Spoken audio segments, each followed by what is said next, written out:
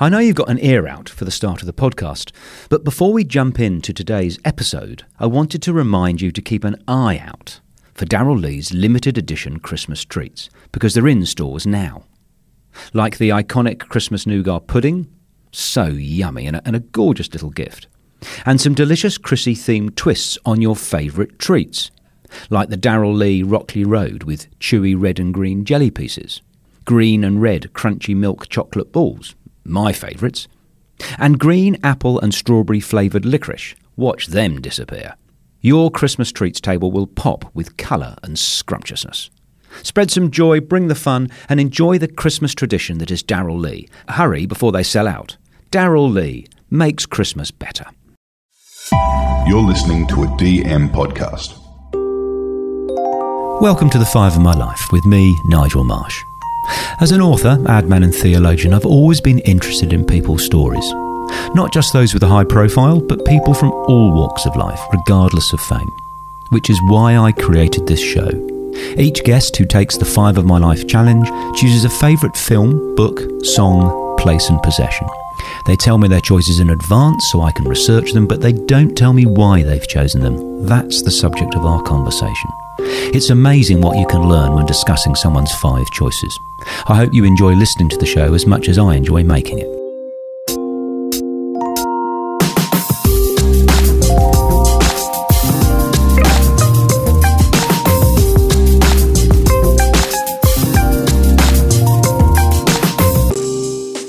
Angela Catterns is one of the nation's most loved and respected broadcasters, with a voice as smooth as chocolate and a wit as sharp as a knife.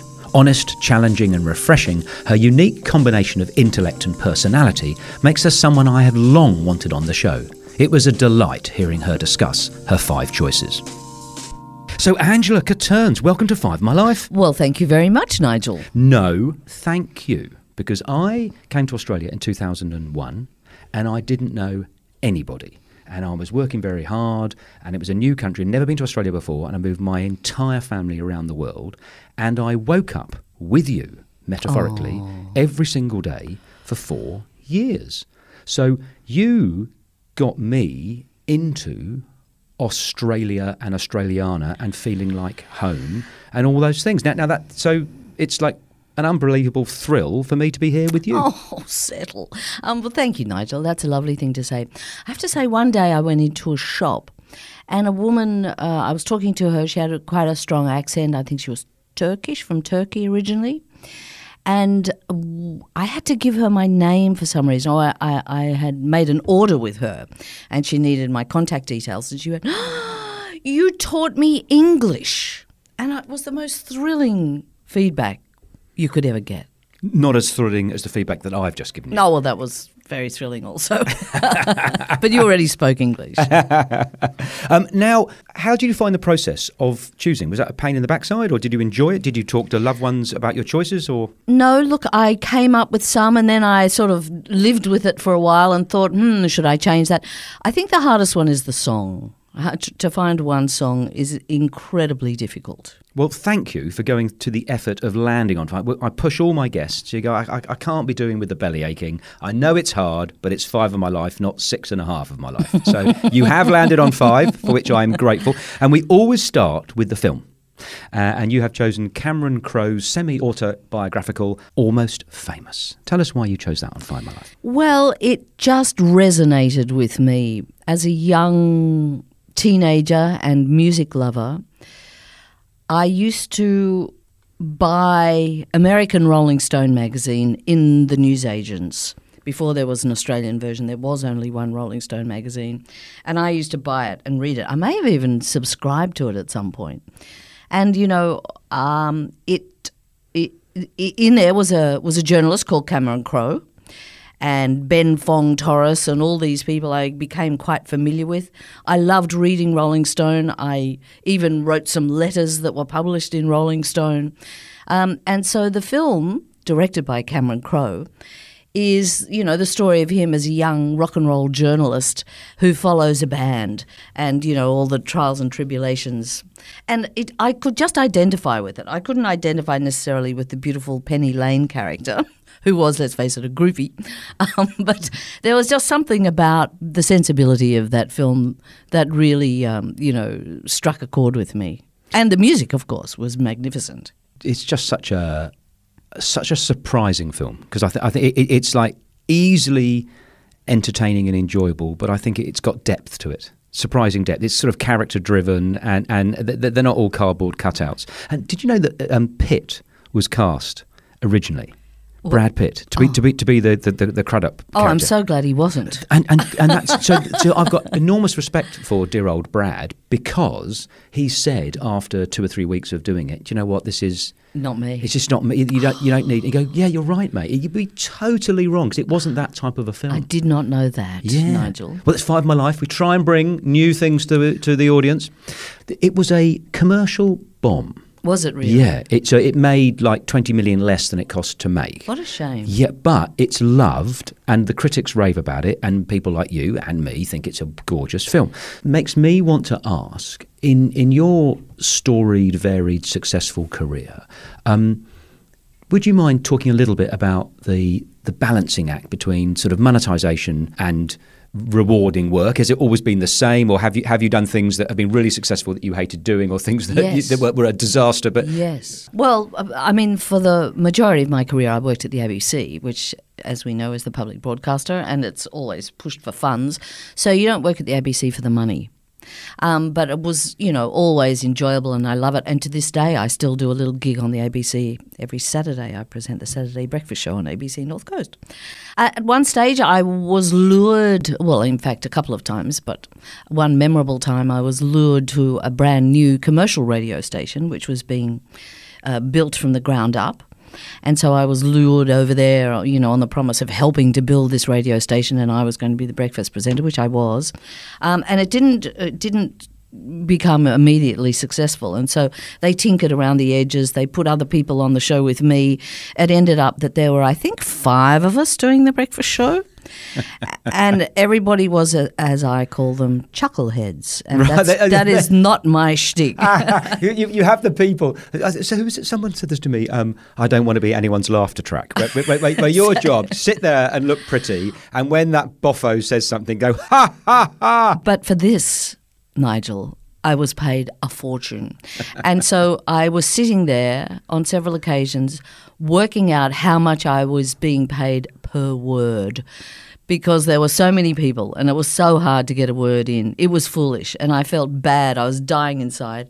And so I left. I just simply went, this is not for me. And I forewent this enormous salary. And um, yeah, and that was the end of that. I love those stories where it, it's hard, if not impossible, to put an old head on young shoulders. And I look back at some of the decisions I've made. and What were you?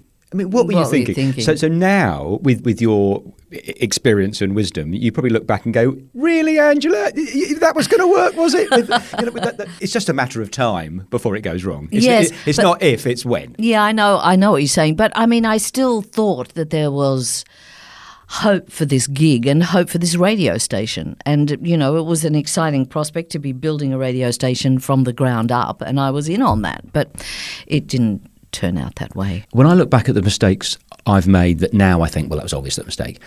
I sort of don't mind having made them because you made some friends, you made some money, you you you learned some stuff. It, it, it, there must have been positive things about it. That's exactly right. Yeah. that's exactly right, and yeah, I've got super.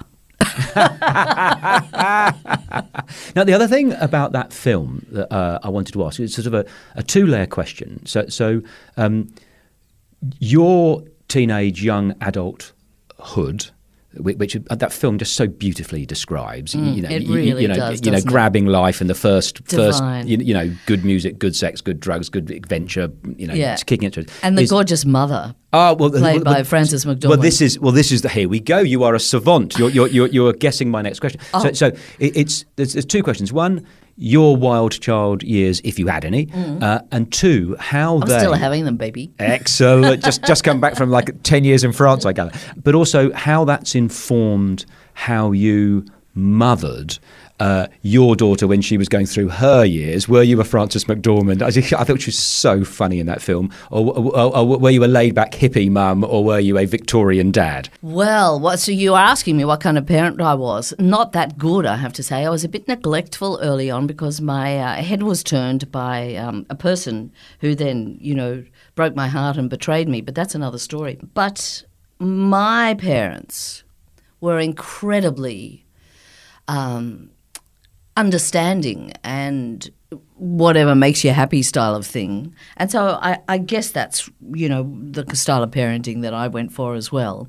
Um, and yes, I, I mean, I, I, I, dropped out of, of life very early on, not out of life, but I had started as a copywriter in advertising. Yes, you you were started the dark side like me. well, and then I left the dark side. I sort of dropped out and went to live in the country. And yes, I became a hippie for a while. I was a hippie, and then I, you know, got bored with being a hippie, and I moved to the country uh, to Orange and worked there. And then I came back to Sydney and worked at Triple J. Uh, but uh, it was an extraordinary path, and behind it all were my very supportive and loving parents. Wow. Okay. And so, does that mean that uh, I love it when kids rebel against parents. If you've got a hippie parent, does that make you a straight? yes. you know, I'm going to rebel by being an accountant. Well, I think my daughter is a little bit like that. She's she's quite sort of fierce and um, uh, and doesn't quite subscribe to all the things that I subscribe to. But um, she's adorable and I love her dearly, and she's my only child. Um, but they weren't hippie parents. They were just deeply loving. My father was a veteran of World War II. He was a pacifist. He thought women were the, going to be the savior of the world. Oh, he was, good on him. He was very progressive, actually.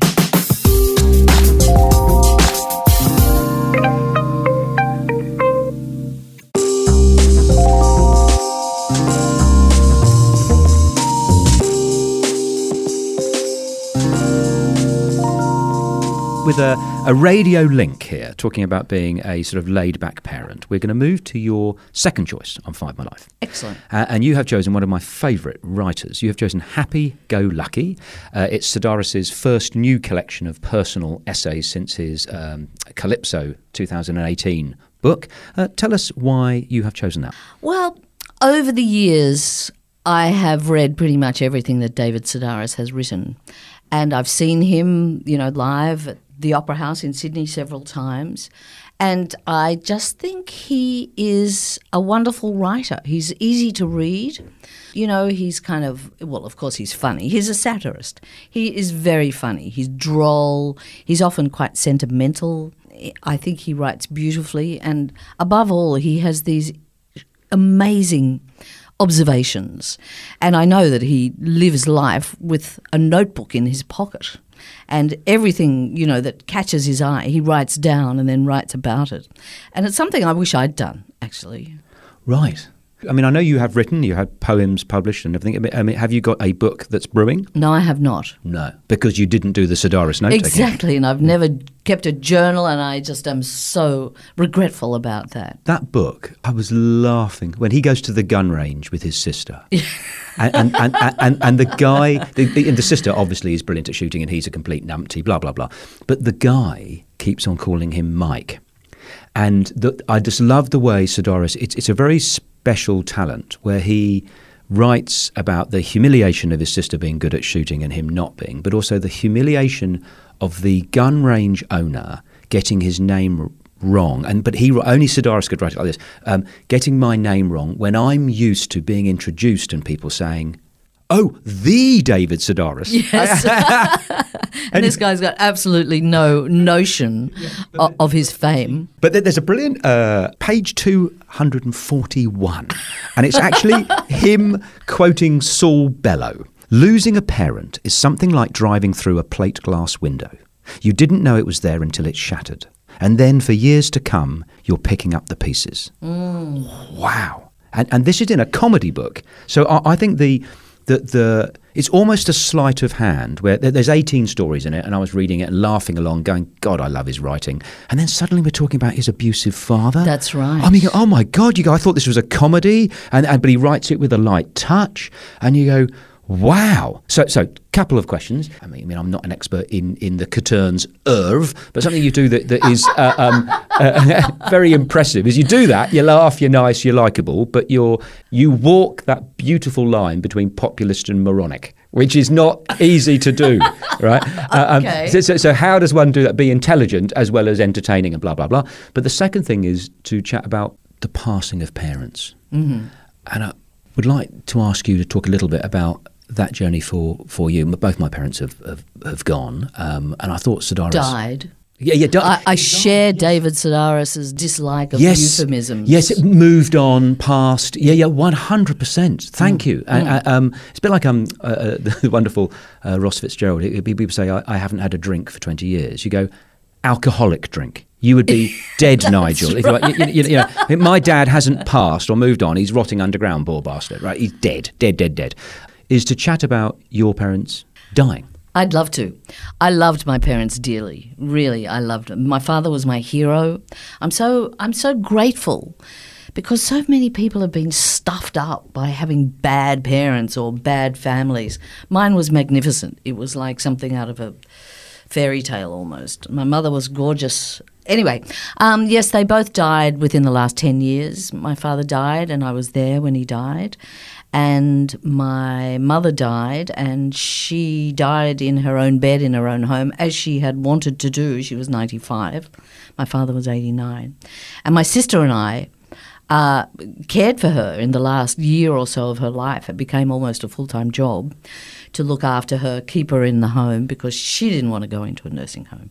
Uh, and so, yeah, um, I was there when she died too. And it was a huge effort to, you know, manage staff and palliative care nurses and all of that. It was a huge effort for my sister and I. But um, I'm so glad that we did it. I have no regret around the death of either of my parents.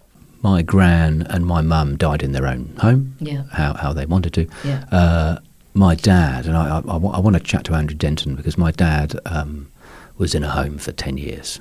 Uh, just dementia. Oh, uh, you I don't. It make, I can't even talk about it. It's so upsetting. So living will. Kate and I, my wife, wrote living wills, and mine was, you know, if I'm, y- y- you know, incapacitated, or whatever. Yeah. else. And and Kate wrote one, which is she can put me down if I get boring. I go, sweetheart, raise the bar. Yeah. I mean, it's supposed to be.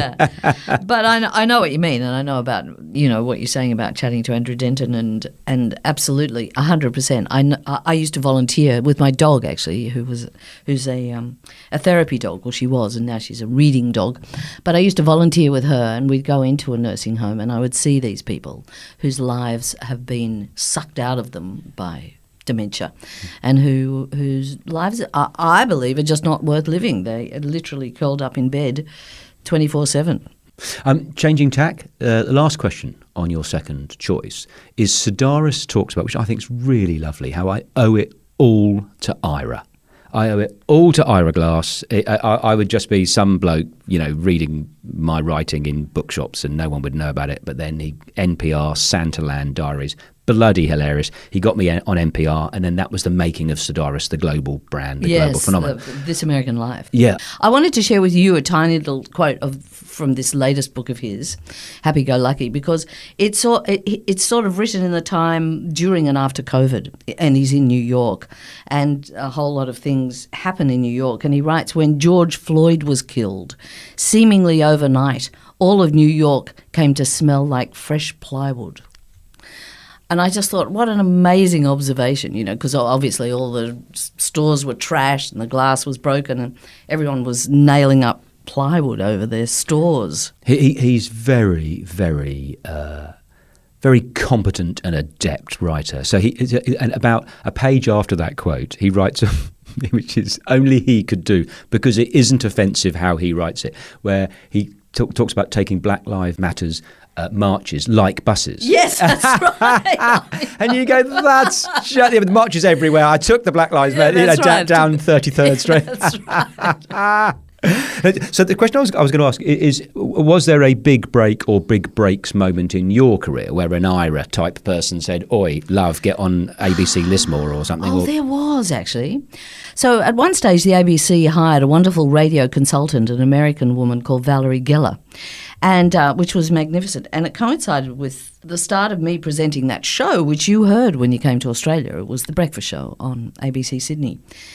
They had teamed me with a man. They'd put a journalist who came into the studio often because I don't know because he might be more heavyweight. That's what they call it in journalism, heavyweight. Uh, whereas I was not; I was lightweight. So anyway, um, uh, I li- he was a very nice man, but it just didn't sit right with me. And uh, the ABC kindly gave me a session with the woman who is now my guru, uh, Valerie Geller. And she listened to about 30 seconds and she said, Angela, you sound like you're in radio jail. and I did. That's exactly how I felt.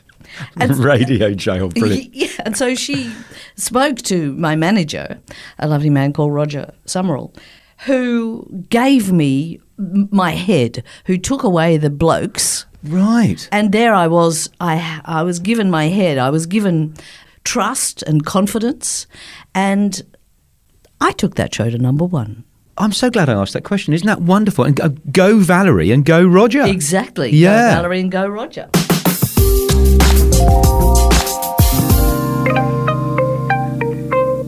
Moving on to your third choice on Five My Life, and this goes straight onto the Five My Life Spotify playlist, Oh. which I never tire of telling people is a sensation. We are going to discuss Homeward Bound, the Simon and Garfunkel 1966 classic. Homeward bound, I wish I was homeward bound. Home, where my thoughts escaping home, where my music's playing home, where my love lies waiting silently. Tell us why you've chosen that on Five My Life. Ah, well, you know, this was the hardest of all to decide which song. Would it be a Joni Mitchell song? Um, but this song, so the aforementioned heartbreaking bust up that I had, which was with a woman actually, the first time I was in a relationship with a woman.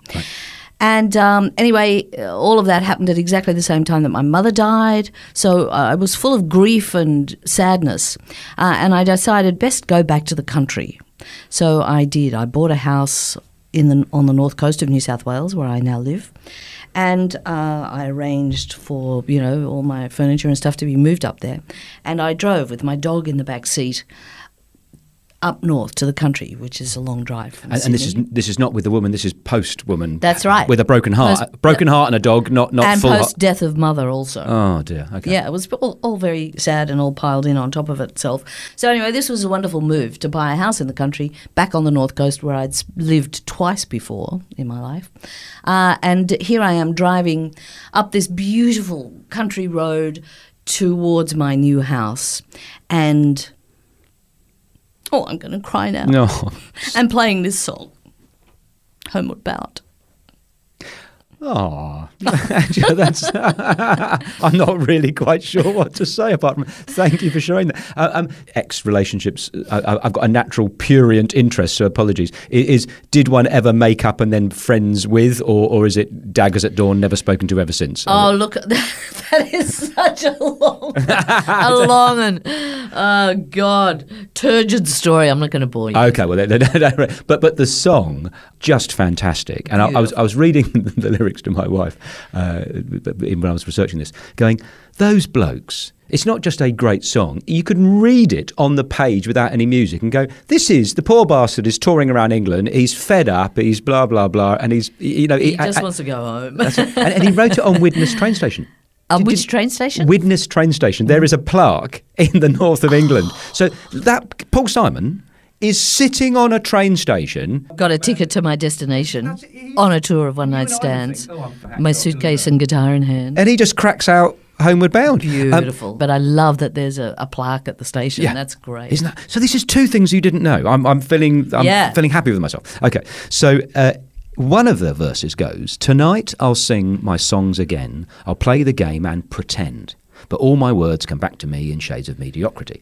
There's something I have enormous admiration for is people who can have, uh, I'm trying to think of, of, a, of a less wanky phrase, but authentic longevity. So to avoid the phoning it in thing, right? And, and and this is a backhanded compliment because it seems to me that, that that you are brilliant at that. You you whatever you do, it's like, like your heart and soul. You're in it and you connect with the audience. Blah blah. How come? I suppose I loved what I did. I continue to love what I do. Um, the beauty of being on the radio is that you have a community around you.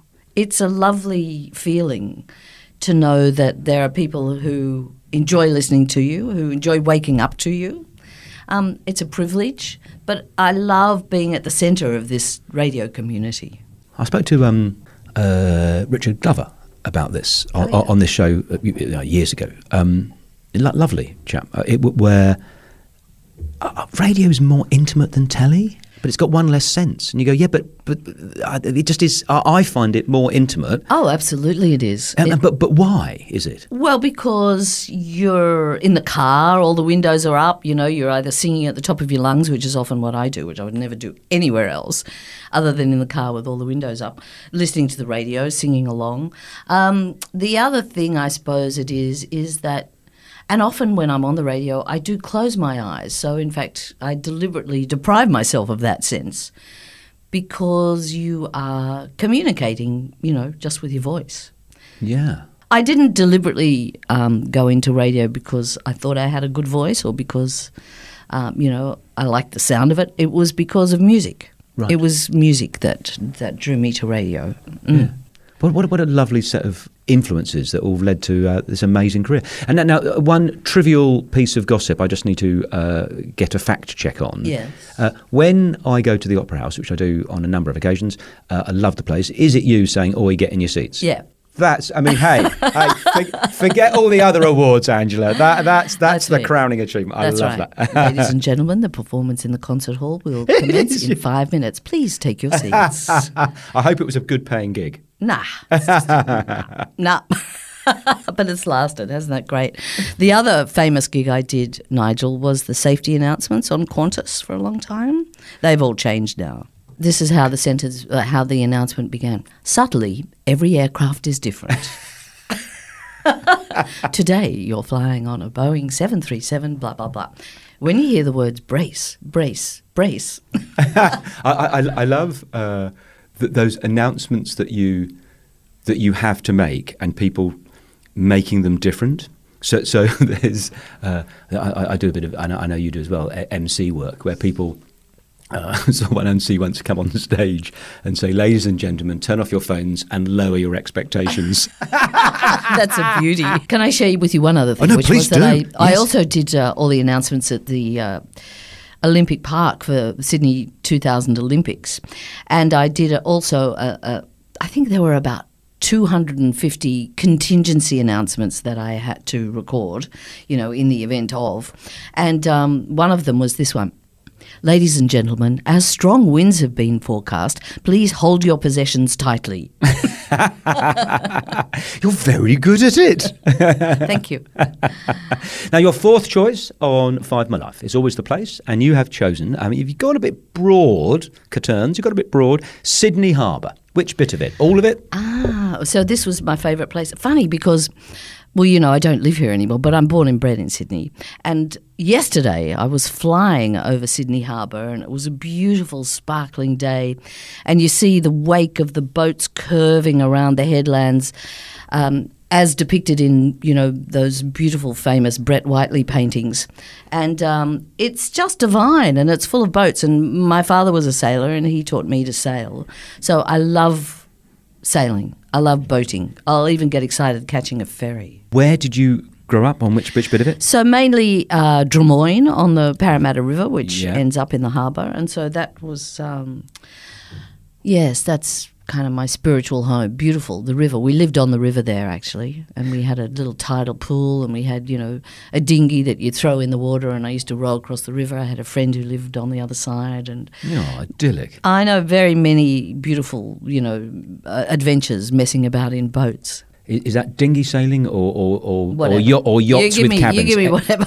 Uh, a- a- any, any, of- kind, but yes, preferably preferably a yacht that you can go out to sea on. And and have you done things like Lord Howe or, or to, to Hobart or big things, or, or is it mainly day trips? I have done a, a cruise from Sri Lanka to Singapore on a lovely 50 foot yacht. Right.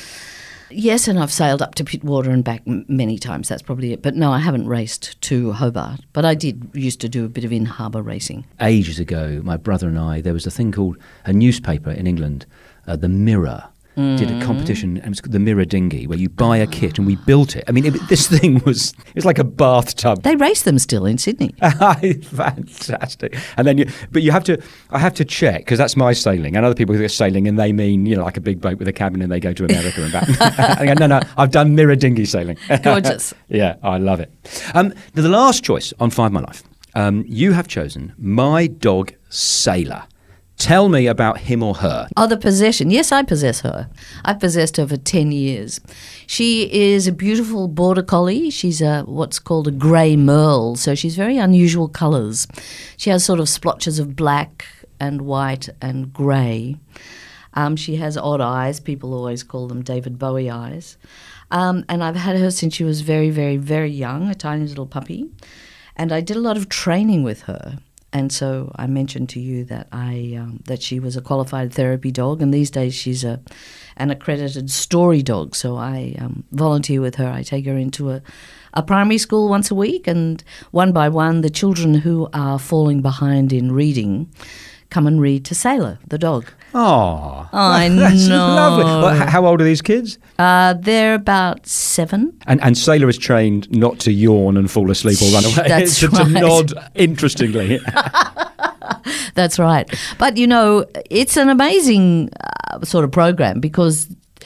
You know, children who are nervous of reading aloud, for instance, um, when they read to the dog, you know, she's non judgmental. She doesn't laugh when they make mistakes. And so, um, yeah, their reading improves miraculously. What a lovely story. I love it. Now, now you know the, the old trope about people look like their dogs or their dogs look like their people. It is, are there, uh, uh, beyond visual similarities, uh, are, are there any uh, characteristics that you think you and Sailor, beyond sniffing other people's backsides in parks, are, are, are there any characteristics that you share? Well, she's um, sweet, loving, Ferociously intelligent. craves affection, very well trained, very well behaved, except for a few, you know, slips here and there. Hmm. Okay, okay. I- I- I'll accept that deflection. You, you mentioned your volunteering, and I would really appreciate it if you would chat a little bit about um, Habitat for Humanity. Ah, yes. Although I don't do that anymore. Ah, okay. As I've researched you, read about you, a very admirable theme throughout the, the career that I can find out is, is you do lots of charity work. So would you mind chatting about your charity work? I mean, I, I didn't realise that Habitat for Humanity was, was a, an X thing. Yeah, so I was their ambassador for quite a few years, and I went to Cambodia twice um, with a team of people to build houses, which was, you know, incredibly rewarding and fabulous. Um, I am a big believer in giving back. I've been immensely lucky and quite privileged, actually, in my life, and so. Um, you know, finding myself with time on my hands, I do like to volunteer or offer my services for various things, various causes. You, you don't just offer them, you set them up. Knit in. Oh, well, the knitting. Stop being so humble, woman. Come on. I'm, I'm passing you the baton to brag. Okay, I'll brag about the knitting because that was uh, a fabulous, fabulous, you know, invention of mine. I'm going to say, yes. So I was on the radio and I was talking about it was cold. I was knitting a scarf for my father actually, who was in the hospital, and I started talking about knitting. I am such a basic knitter. And um, anyway, the floodgates opened and people rang and wrote in about knitting. It became a big thing. Somebody had written a book about knitting. There was knitting in the pub. There were all these things going on around knitting. And so our um, uh, marketing person thought, oh, let's let's do a knitting competition. You know, let's do something. Let's kind of uh, capitalize on this knitting vibe. And I thought about it and I thought, no, I don't think it should be a competition. And I read about this charity called Wrap with Love and I contacted them. And so they were a lovely, worthy recipient. And um, they uh, knit squares and then they knit the squares into blankets and then they send them to the cold and the needy all around the world to uh, refugee camps, to, you know, war zones, all that sort of thing. And so I thought, let's have a knit in. Let's have a thing where all the listeners get together and knit squares for Wrap with Love. And so the location was the foyer of the huge ABC building in Sydney. It's huge. And then on the first morning, people were queued up outside the door at 6 a.m. And they filled to capacity the atrium. There was a spillover into one of the TV studios. There were thousands of people, all knitting. This gorgeous sort of warm hubbub of voices and and you know community. It was just divine. And that went as became an annual event for 10 years. And I heard the other day that there was still one going on in Perth. Yeah, oh, fantastic. I know it was just a beautiful thing, and I'm uh, I'm very proud to have um, thought of the idea. Yeah, well, that, well, that, that, thank you for, for stepping off the humble perch, and that, that's wonderful. So, uh, three more questions for you, and thank you very much for coming in and doing this. Mm. You're welcome. Um, first question is: uh, Is there something about you that you wish people understood? Is there something about me that I wish people understood? Well, if they, I mean, that's my fault if they don't understand. me. Exactly, and now's your chance to put them right. No. That's, that, that- that's, but that, what a great place to be. You go, no, I, I- I feel that the, the, the people who know me know me. You, you know, my audience know the real me. That's not they haven't mistake. I, I, well, I, I suppose I, I've interviewed a chap from Love Actually, the actor. Oh, And- yes. and, and he's he, he you know um, the, the Not Hugh Grant. Uh, n- no, not not Hugh, but this this was the um, uh, the, the the chairman of Love, and he's got a big knob. Col- Col- Colin Frissell, that bloke, and he goes. So, Okay. so I'm known as the bloke who's got to a big knob, and he's a serious actor. Yeah, and he goes. I really wish people knew Nigel. I've done other bloody films than Love Actually. Anyway, so that's fine. So that, that's a great place to be. So I'm happy with that. Um, second question. Uh, do you get lonely? And if you do, what do you do to mitigate that? I do get lonely because I live by myself with my dog. So luckily, I have my dog who mitigates loneliness. So I do love living by myself, and sometimes I absolutely revel in it. I just love it to death and think, oh my God, I'm so lucky. And yes, I do get sometimes lonely, and so sometimes I will probably pick up the phone or, you know, message someone and arrange to do something.